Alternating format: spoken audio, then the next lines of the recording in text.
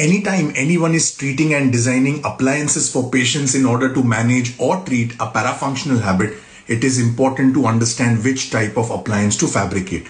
It's critical to determine whether the patient has a muscle problem or a joint problem.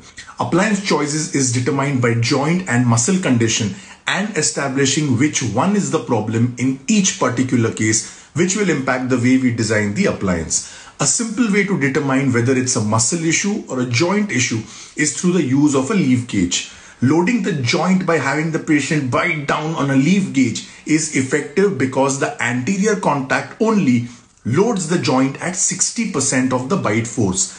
That means that when the front teeth contact, they apply all the bite force and seat the joint up into the socket. If the joint is not healthy, it won't like it. In contrast, the second molar contact creates only 5% of the joint load because it's so close to the middle. That's essentially what anterior only appliances do.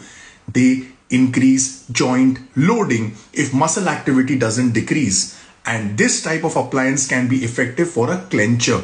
But not every clencher is purely a clencher. So we need to be really careful with these type of appliances. If the patient has a displaced disc, we want to avoid joint loading and an anterior load appliance would be contraindicated. When treating a patient who is a clencher, one thing that is key to determine is whether the patient is a true clencher or if there is some evidence of bruxism as well.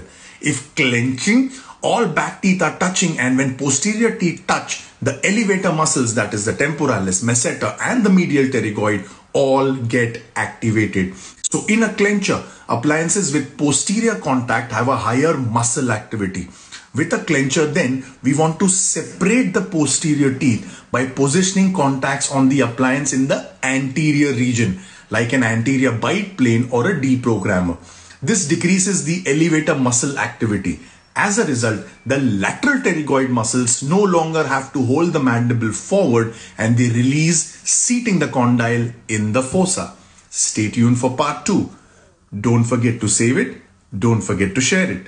Take care.